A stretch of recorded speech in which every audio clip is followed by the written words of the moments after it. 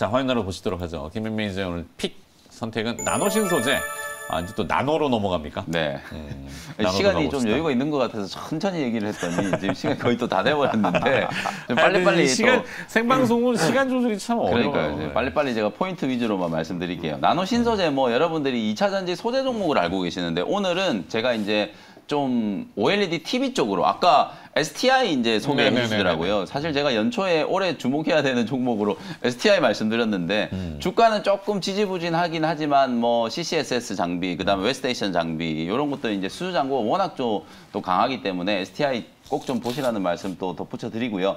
나노 신소재는 뭐 CNT 도전제 관련해서 이제 2차 전지 소재 종목으로 여러분들이 작년부터 이제 많이 좀 주목을 했었던 종목인데 오늘은 OLED TV 소재 쪽으로 제가 방점을 좀 두고 소개를 한번 해드려 보도록 하겠습니다. 원래 이 회사가 이제 고체 소재, 소위 말해서 이제 타겟이라든지 슬러리 같은 이런 것들을 이제 액상화시키는 이제 기술을 갖고 있으니까 이름에도 이제 나노가 되어 있잖아요. 고체를 액체로, 액체를 기체로, 가루로 계속 쪼개는 그런 이제 기술력이 이제 좀 뛰어난 그런 기업이라고 생각하시면 되는데 지난 3월 달에 삼성전자가 삼성 디스플레이로부터 QD OLED 이제 수주를 이제 더 늘려가지고 이제 OLED TV 사전 주문을 이제 시작했거든요. 8.5세대 라인이라고 보시면 되는데 오늘 올해 삼성전자가 8.5세대 라인에서 아마 QD OLED 패널을 한 100만 장 이상 생산을 할 거예요. 네. 지금 LG가 그 중국을 제치고 OLED TV 시장 전 세계 1위를 차지했다 이런 얘기 나오잖아요. 결국은 삼성 쪽도 이 OLED TV 시장을 이제 주목을 할 수밖에 없기 때문에 심지어 이제 물량을 다 감당을 못 하니까 삼성 디스플레이 쪽으로 부족하니까 LG 디스플레이 패널을 갖다가 삼성의 TV를 만들겠다 이런 얘기까지 나왔었잖아요. 그 정도로 올해 이제 OLED 특히 이제 대형 OLED 패널 업황도 상당히 좀 긍정적이라고 보는데 특히 이 나노 신소재라는 기업이 삼성 디스플레이가 생산하는 QD OLED 쪽으로 들어가는 저반사 코팅막 소재 이제 중공 실리카라고 하는데요. 이게 이제 원소 기호를 보면 SiO2거든요. 이 네. 중공 실리카가 뭐냐면 중간에 구멍이 뽕 뚫려 있는 소재라고 보시면 돼요. 근데 이 중공 실리카를 쓰면 어떤 효과가 있냐면 우리가 이제 여러분 주말에 여러분들 TV 보실 때 아침에 이렇게 해가 쫙 뜨면은 TV에 햇빛이 반사되면 해가 안 보이잖아요.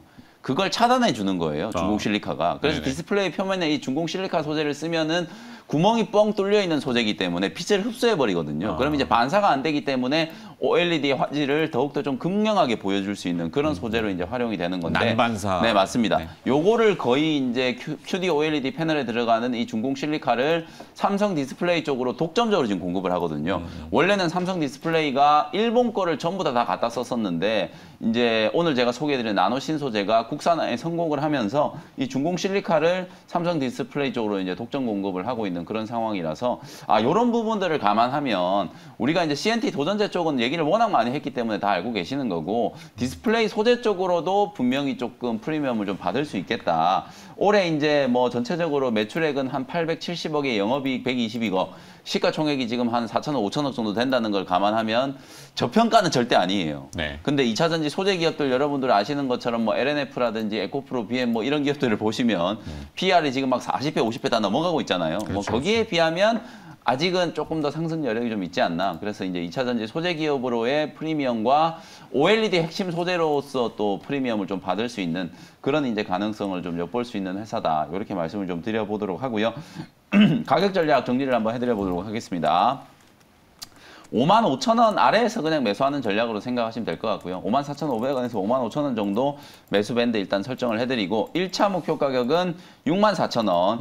작년 12월 달에 이게 7만 8천 원까지 이제 급등이 한번 나왔었던 종목이고 요때 이제 급등을 할 때는 말씀드렸던 CNT 도전제 그쪽에 이제 이슈 때문에 주가가 급등을 했던 거였거든요. 일단은 6만 4천 원 정도를 1차적인 목표가 손절 가격은 조금 타이트하게 이제 5만 원 밑으로는 다시 빠지면 좀 안 된다라는 생각에서 손절 라인은 5만 원 정도로 한번 잡아드려 보도록 하겠습니다. 네. 자, 김영민 매니저가 오늘 선택한 기업은 나노신소재 따로 한번 내용을 좀 봤고요. 정리는 화면으로 나가고 있으니까 참고해 보시면 되겠습니다. 가격 전략도 네, 제시를 해주셨네요. 어, 오늘 무슨 수요일에 네, 오늘은? 이벤트가 없습니다. 네. 자, 오늘 그럼 내일 또 목요일 날 아침에 네. 다시 뵙도록 하겠고요. MBN 골드 김영민 매니저는 수고를 하셨습니다. 네, 고맙습니다. 감사합니다.